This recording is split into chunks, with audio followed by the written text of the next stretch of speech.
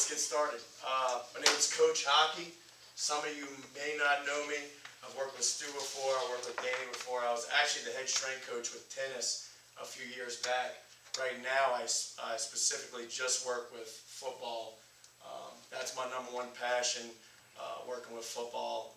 Growing up as a young kid from New Orleans, Louisiana, I fell in love with football, and it's always been my number one passion. But that led me to another passion, which is coaching and helping people, helping influence people, helping people come together and achieve great things. Uh, I'm a great competitor, just like yourselves. I hate to lose. I'm sure you all have that same attribute.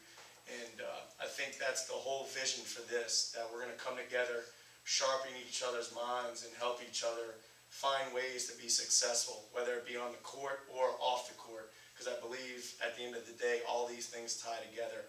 You know, I gave y'all all a notepad.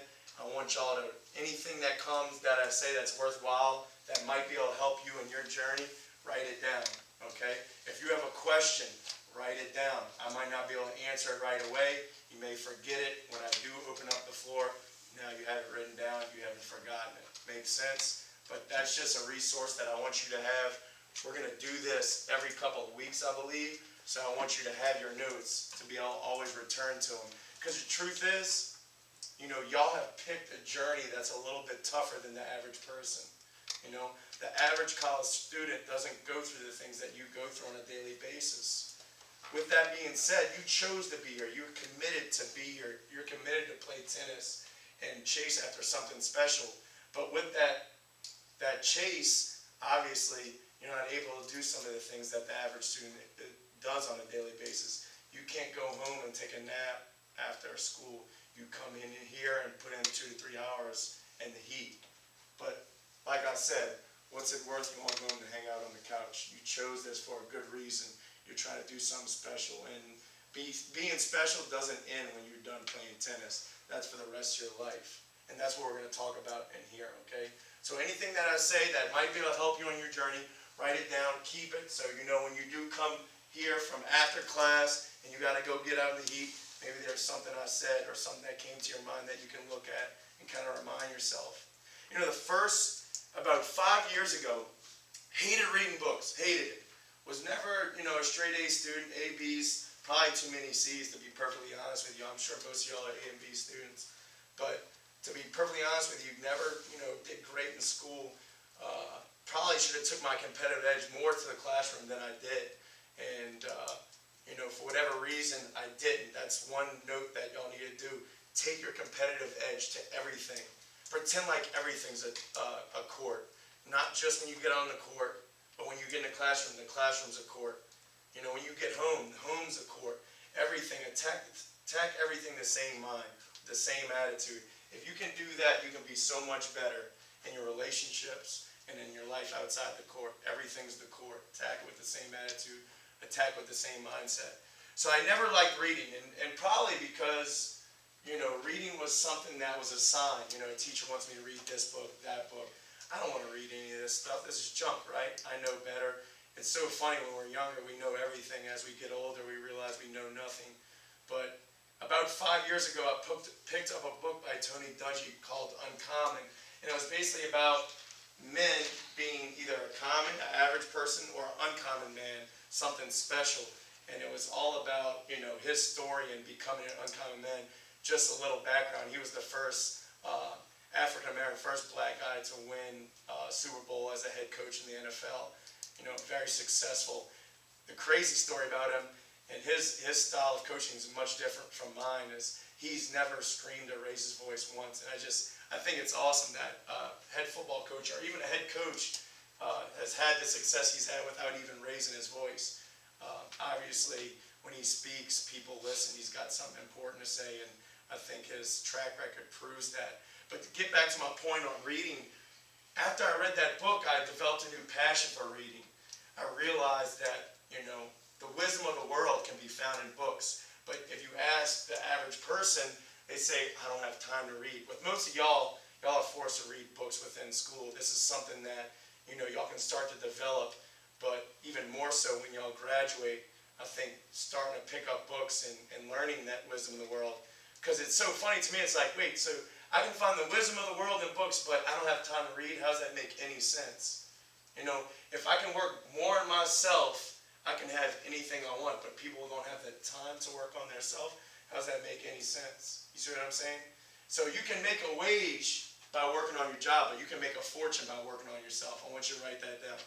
I can make a wage by working on my job, but I can make a fortune by working on myself. So every day you can come work and hit a million balls and you can make a profession out of it. But if you spend all day working on yourself, you can have whatever you want. You can make a fortune. You define that fortune. Working on yourself doesn't end from the seven, the second you wake up to the second you go to sleep. Working on your job, that only takes place when you step on that court. So I want us to take a different mindset to life from now on. Instead of just getting better on that court, we're going to get better from the second we wake up to the second we go to sleep so that we can get that fortune. It's a bigger picture than just tennis. It's life, becoming great at life. And everything ties together. Everything works for our benefit. So one of the books I picked up was called Hard Optimism, and it's all about having the right attitude, having the positive attitude, having the positive mindset. I'm sure you're all familiar with that. But the one of the quotes in the book that struck me most was that the average person has 40,000 thoughts per day. And I was like, this can't be true. I, I Google searched 40,000 thoughts per day. And, you know, to my surprise, it was true. 40,000 thoughts per day. Unbelievable. How crazy is our mind that it's running all day, 40,000 thoughts per day. You can start to think yourself, you know what? That is true. I'm thinking all day. And the thing we don't realize is that our thoughts fuel everything we do. Our thoughts fuel our actions, our thoughts fuel our results. Today, during that run, you were thinking that whole run. What were you thinking about? Were you saying things like, man, it's hot. Man, I'm tired. Man, we're not going to win. Man, we're not going to finish on time. Or are you saying, we got this. There's no team like this one. I love pain. I can't be stopped. Only you know what you are thinking about. But what you are thinking about fueled your actions and fueled your results. So now that we are aware of our thoughts fueling our actions, fueling our results, now we can be better goalkeepers. Now we can be better at defending the net, let's say, right? The thought comes in, I have a choice. I'm either going to throw it away or I'm going to use it to my benefit. So when we do this Indian run next time, let's start paying attention to our thoughts. What am I saying in my head? Is it something that's going to help me or defeat me? I have a, I, I'm just going to guess. If you struggled today, you were probably talking really bad to yourself. Real bad to yourself, huh? Yeah, it was. Why do we do that to ourselves? It's so funny though, right? Same day, same run, says he usually crushes it, but today, since we're doing something different, now you're gonna start talking bad to yourself. And it's not just you, it's me. I work out today, I'm like eight sets of eight, I'm gonna crush it, squats, I'm gonna finish with 255. I put 255 on the bar, I'm on my third rep, I'm getting down, getting up, and I'm like, oh man, I'm getting tired. Where did, why did my attitude change? Why did my thoughts change? And why did I allow them to change, right? If we want to use our thoughts to our advantage, if we want to let our thoughts fuel us so that we have the right action, so we have the right results, how do we do that? We become more aware of our thoughts, and we do a better job of affecting one another. The focus of today is on unity. Y'all all, all have the Bama Creed, right? Y'all see what number one is? Read number one for me, Stu. We are a group of competitive individuals united as a team that make decisions for the good of the team. We act like a team and dress like a team for any function. Awesome. So unity is going to be the focus of today. So every time we, we every time we meet, we're going to talk about one of these values. With today's focus being on unity. So we're going to figure out what unity is. We're going to break it down and we're going to throw it around and make sure we know. Because I think the truth is a lot of times things are put on our plate and we don't necessarily know what to do with them. So my job here is to empower you, okay? To give you everything, all the knowledge I have, to get all the knowledge y'all have so we can share it, come together, and use it for all of our benefits. So a lot of times you're given a leadership role. You're given a role on a team and you're like, okay, what am I supposed to do with this? So we're going to come together, share ideas, and make sure we make the most of this experience. Make sense? I've done this leadership development, this mental development with football before. Now I'm doing it with y'all. I want to do it with anybody that's willing to get better. And I think y'all are willing to get better. For me, what's worked for my entire life, three values, vision, discipline, passion. You gotta have a vision. What's your vision? Write down vision right now. Right now, you have to have a vision. And it's a small vision and it's a big vision. It's not just, I'm going to win a national championship this year. It's, I'm going to dominate today. It's not just, I'm going to be a great tennis player. I'm going to be a great man. Make sense? You got to have a thousand visions, not one, a thousand. The more visions you have, the more goals you have, the more chances you have accomplishing those goals, accomplishing those visions. Okay, that's what got me in front of you today. Having a thousand, a million visions. Because the more visions you write down, you, the more you start checking off, the more you're able to write down, the more you're able to start checking off. Make sense? Second thing, discipline. I can't make something come true unless I'm willing to have discipline.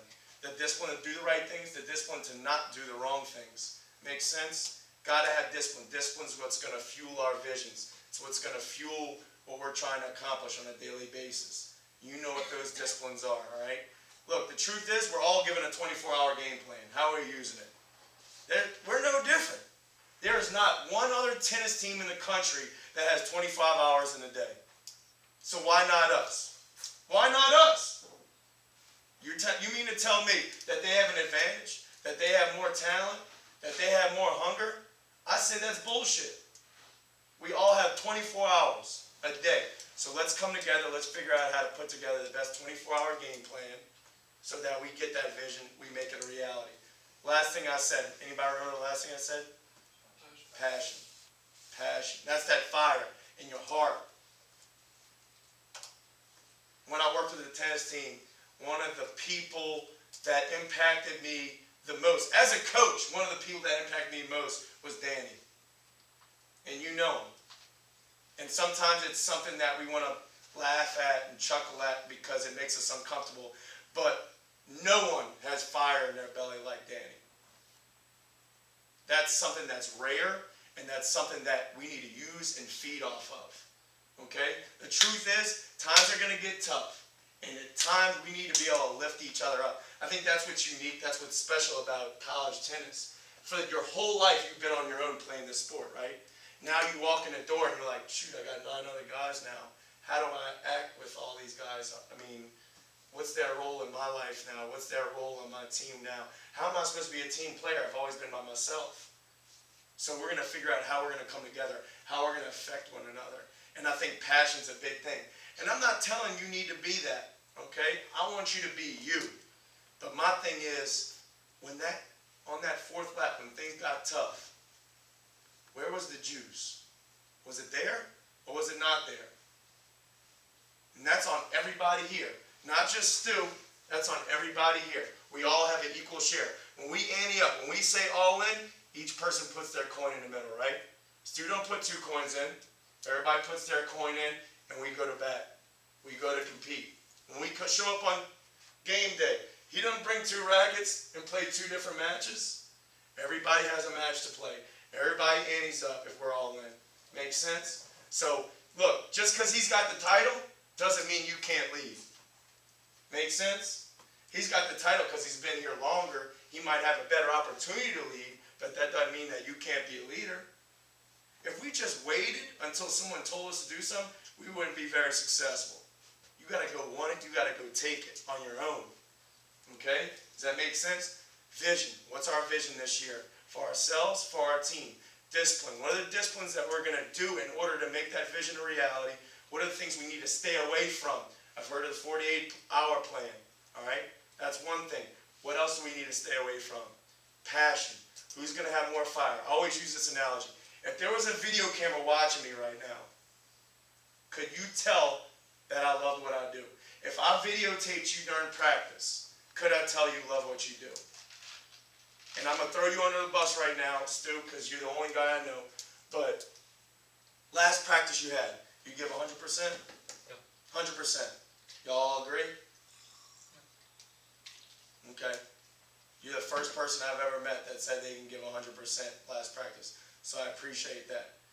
Everybody else, are we giving 100%? That's something we got to check ourselves on. We got to evaluate ourselves on. Okay? 100% every time we step on that court. Make sense? If you're all in, if you're trying to make that vision a reality, I gotta give hundred percent every time I step on that court. What's the deal with the black shirt, So the person who earns it for the week right? work their ass off every day. Right. So to me, we gotta have ten guys fighting for that black shirt. It should never be in the same guy's hand. It should be an all-out dogfight every day, every rep, every week for that black shirt. There's gotta be a sense of pride. I gotta want that thing better than anybody in this room. I gotta want that thing more than anybody in this room. It's my shirt. They're gonna rename the black shirt my shirt. Does that make sense? That's the kind of attitude. That's the kind of mindset. Because the truth is, the only way you can get better at tennis is by working on it. It's not. You're not going to just wake up and be some great tennis player. Yeah, God's gifted you. You're blessed with a talent, but now you got to go work on it and build that talent and take it to a whole nother level. So we're going to use a vision. We're going to use a discipline. We're going to use passion in order to make our dreams realities this year. Make sense? So let's talk about unity. Unity. I need, uh, what's your name? Corey, Corey. What's unity to you? I mean, just acting as a team at all times and working hard every day. Okay. What's your name? Andrew, Andrew. What's unity to you? being together, being one unit. Honestly, honestly that's what I thought of. Okay. Name? Sam. What's unity to you? Uh, yeah, I think like just being like a strong group of individuals. And Okay. everyone like you can rely on the person behind you. Okay. Name? Becker, Unity. um, basically every individual coming together with like the same goals and aspects and becoming one unit to want to succeed. Okay. So as we go through these values, and there's no right or wrong answer. As we go through these values, we got to have a good understanding of what these values mean in order to emulate these values, in order to use these values to help us make our visions realities. So unity, coming together, like I mentioned before, we've always been on our own in this game. Now we're a team. How do we use that to our advantage? Coming together. In order to be united, we have to have a common purpose. What's that purpose? Anyone? Win. Win. Real simple, right? Win. Win what? Win a national championship. Write down win. Write down win a national championship. What what other purposes do we have? Stu? I, I mean, as far as I can go, I mean, I want to I want to take myself as far as I can possibly go. Okay. So write that down. Win the black shirt this week. Anybody else got a common purpose for us? We could all become better people together. Yep. Write it down. Sam, you got something that's a common purpose? I'm trying to think. Uh, Danny, you got one? You, you want to take care of the things outside the court which will help you to be better on the court, aka school, social life, uh, time management, things you have to accomplish every day. You have to do them better, and that will help you to be better tennis player. No doubt. The habits we have formed throughout our entire life will show up on game day. The habits we form outside the tennis court will show up on game day. There's no doubt about it. There's something that pops up during a game. It's called instinct. Instinct are trained habits. So if you hit a ball a thousand times, that's what's going to show up on game day. Your instinct. Okay? So what, what kind of habits are we forming? Not just on the court, outside the court. Make sense? You gotta feel like you deserve that point. You've gotta feel like you deserve that match. Any other common purposes? Just you know being a team, taking care of each other no matter what happens, and um, just on and off the on off the court, in the weight room, in the classroom, just being keeping each other accountable for each other. Okay? So, in order for us to be united, we have to have a common purpose. I think we all agree we have a common purpose. The second way that we become united is that we fight for one another to make that purpose come a reality. And the only, the only way we're going to fight for one another is if we know one another. You got to think about the people that are closest to you in your life your family, your brother, your sister, your mother, your father, your best friend, you'd do anything for them, right? You'd do anything for them. That's gotta be the feeling in this room. That's the only way we're gonna be champions. And the only way you're gonna be able to fight for one another is that y'all know one another. What'd you say your name was again? Becker, Becker. Tell me five positive things you know about Sam. um, uh, he's good at long distance running. Yeah. He, um, he's uh, good, good tennis player. He's a very positive person, and um, Two more, bro. Lame. looks better with a shaved head. And You don't know anything about him. That, that's I, did- I need to know more, but um, and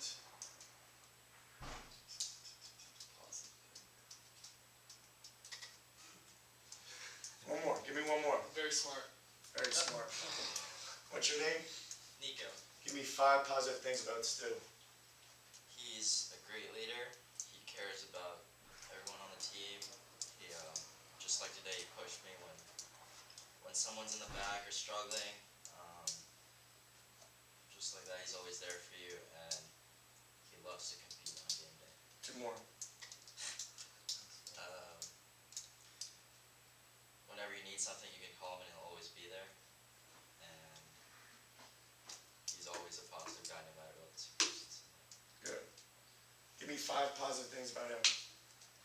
He's a fighter. He'll back you up no matter what. Um, I think he, uh, is a genuine guy. Cares a lot about the team. Two more. Um, he's funny as hell. One more. um, and he's a hell of a tennis player. Give a hand to everybody real quick. Hey, I'll put you in a kind of difficult position, but just a simple technique like that, you realize maybe we don't know each other good enough. You know? Maybe we do need to do a little more digging. Maybe we do need a little more searching. So we're something today called What's Your Why? Why do you do what you do? Okay? I'm gonna share I'm gonna share with you my why. When I was growing up, my parents, I come from a split home. My parents divorced when I was in the crib. When I was young, I would listen to my mother and my father fight, cuss each other out. Fight. The two people that supposed to love one another, who had me, at each other's throat, cussing at each other, had me. Hated each other. And they always fought about money. That's the only thing they fought about. I needed five dollars for a book at school, cussing each other out. The two people that are supposed to be my resemblance of love, fighting over money. From that day, I decided money will never be an issue in my life. I will influence as many people as I can make sure money is never an issue so that one day, in hopes that I'm blessed with a family, they will never see that. Money will never be the priority, but it will never be a problem. Love's got to be the priority. Unity's got to be the priority. For us to be successful, unity's got to be the priority. We got to know each other's why. Why do you play this game? Why do you love this game? Why do you want to become better? There has to be a reason. When it's a tough day, just showing up isn't going to work. That's why there's so many average people. That's why there's only one champion. Because it's not easy. It's not easy to show up every day and be a Hall of Famer. You got to have that vision. You got to have that discipline. You got to have that fire. When the other nine guys, you see it in their eyes. They don't have it today. I got to do something to make sure they've got it.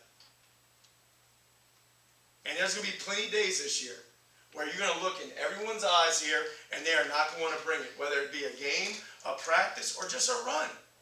But what are you going to do about it? Are you going to allow it to happen, or are you going to bring something to the table to elevate this team? So the only way that we're going to fight for one another, the only way that we're going to attack this common purpose together, united, is if we know each other, if we know each other's why. Like I said, you fight for your family, you fight for your best friend because you know who they are, and you're willing to do whatever for them. So I want all y'all to share your why. Stu, you start off. stand up, share your why. Um. Yep. Uh, my why, um, it changed, uh, when I first came to college. Uh, it was, you know, I was, love tennis, doing it for tennis, doing it for having the, um, having the, the privilege to be here and be a college athlete. Um, end of first semester, uh, I went through a lot of family stuff, sister passed away, and, um, now every day I do it for her, and, uh, my family, and all of them. Um, I see I see my parents struggling, my brother struggling, everyone, and um, I I just I, I want to be there for them as much as I can, and um, I think that's why I'm trying to like put so much into y'all, because uh, you are my family, and I've been through a lot that I know that something tragic can happen, and I don't ever want anything to happen to y'all, so I, I try and pour my soul into y'all, and um, the same way I do with my my birth family or whatever you call it. Appreciate you, Stu. Somebody else?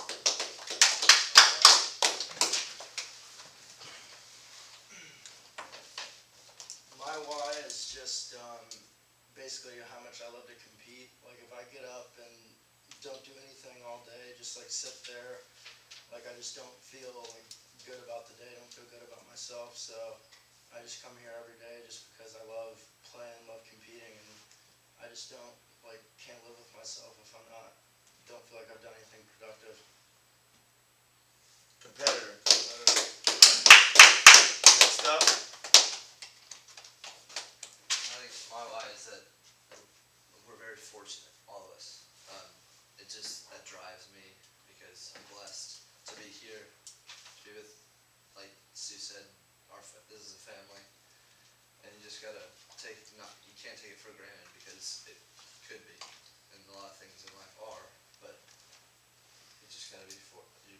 We're fortunate, and you gotta take that, run with it. Appreciate it.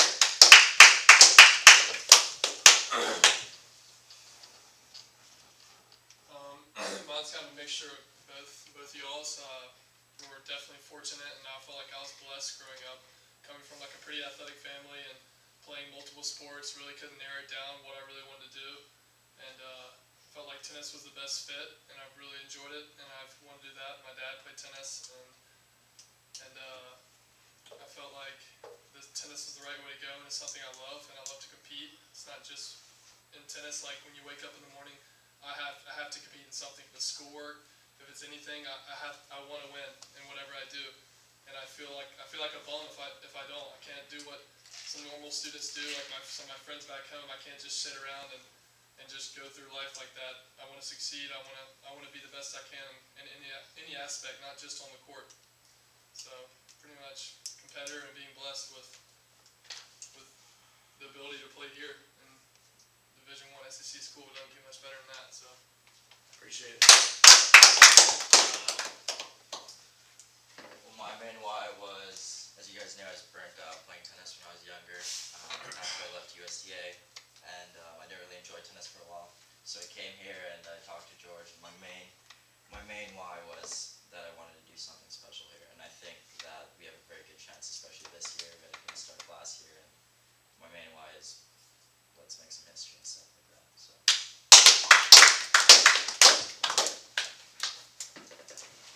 My main why is just um, I love to compete. I mean, I can't live with myself if I'm not competing or not doing something productive. I mean, tennis like has taught me so many life lessons, like being disciplined and responsible.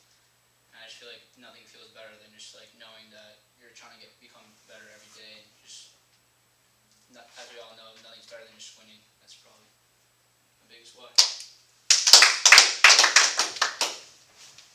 Uh, my main why is just really have the most opportunities when we were younger, playing the juniors and all of that. We were just lucky to live that lifestyle and now to be here and uh, compete for national championships and everything. It's just we're we're all really lucky, and I think just that feeling of winning a close match, it doesn't get much better than that. So, yeah.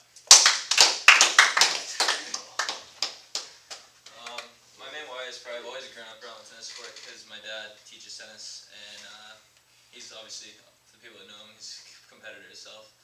So um, just always when you win that close match, it's the best feeling. And uh, yeah, just compet- competing, it takes your mind off the, all the other things outside of life when you're on the court. So that's probably me.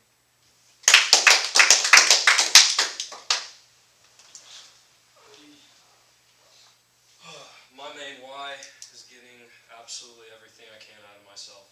I've had it molded into me since I was a young kid of uh, never giving up, running after every, absolutely every ball, having the best attitude, and I. By the time I'm done with my college, I, I by the time we're done with that first match or that last match, I don't want to have anything left.